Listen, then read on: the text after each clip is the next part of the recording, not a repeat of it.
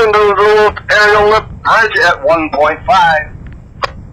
Anderson Aerial Bridge, Roger Cap, out of your way shortly. Thanks for the call. Call Duluth Aerial Lift Bridge, Pollard Jagurtha. Uh, power to Grove, Aerial Bridge, count that. 10. Hey, good evening, Cap, Aerial Bridge. Yeah, good evening. Uh, yeah, we're just stock paddling here till the Anderson comes in. Do you want to uh, clear your traffic there? Because I can take her easy.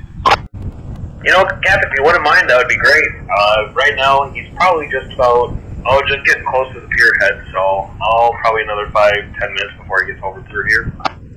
Okay, yeah, go ahead and uh, drop her down and clear the traffic. And, uh, we'll take our time here. Yeah, sounds good, Cap. And yeah, once you guys get over cargo, I'll just uh, throw it back up for you guys. Appreciate it, Cap. Yep, sounds good, thanks. Bridge back 16.